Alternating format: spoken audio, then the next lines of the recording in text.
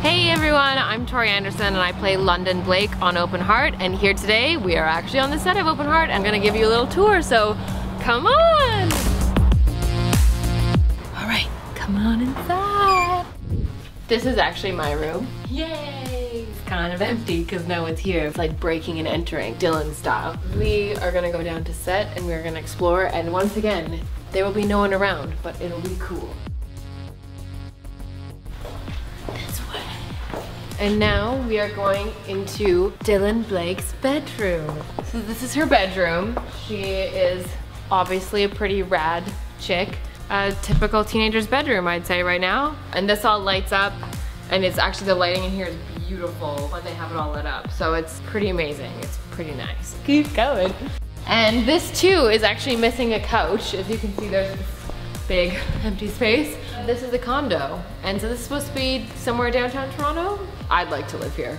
I'd be very happy if I lived here. And this is actually a working fireplace. We've done scenes and there has been a live flame there, which is somewhat intimidating. I guess we'll continue on to the hospital. Right now, we are at the emergency entrance of Open Heart Memorial. So yeah, come on in. So this is the triage.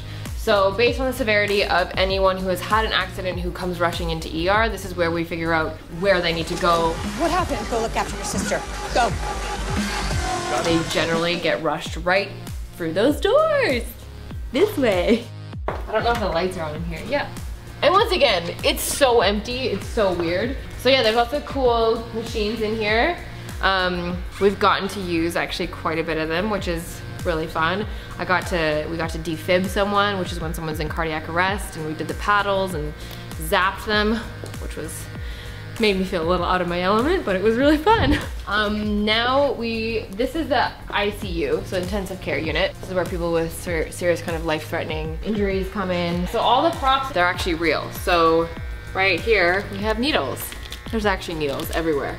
Generally, you don't play with them unless you're using them on set because everything is real and everything has served a purpose. It makes you feel like you're in a real hospital.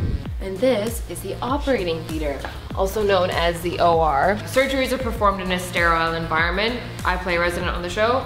We're allowed to watch the surgeries go on and sometimes actually take part in the surgeries. It's, it's fun, it's really fun to work in there.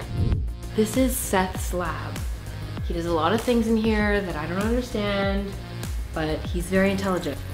This is like an ongoing joke is the hula hoop thing. See, look at all of them. Look at all his girls. Thank you guys so much. I'm Tori Anderson and I really hope you enjoy the show and I look forward to seeing all the tweets and everything about it. So thanks so much. Bye guys, see ya.